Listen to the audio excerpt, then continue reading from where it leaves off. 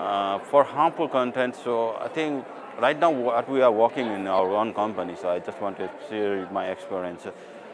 Like we implemented a simple solution called Simplify 360 degrees, so where we use a different multiple platform, uh, where Facebook and social media, if any people comment any negative word or if they go, you know, in a publicly, they criticize our company in a negative way, we try to take that uh, trend and we try to, you know, record that part.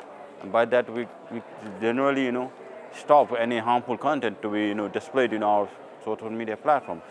So there are a couple of things and a couple of techniques we can do to ensure that not uh, negative content goes out to the you know, social media platform.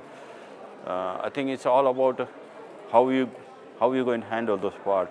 It's all about you know user uh, what do you call that? User knowledge or user education is much more better uh, to make a more better content on the internet side. And uh, so, so sorry, sorry.